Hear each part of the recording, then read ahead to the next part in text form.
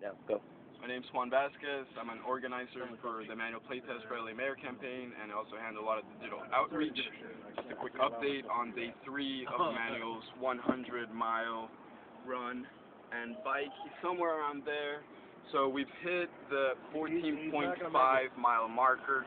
We started out in Griffith Park, went all the way through downtown, hitting City Hall, LA Times, talked to a few folks.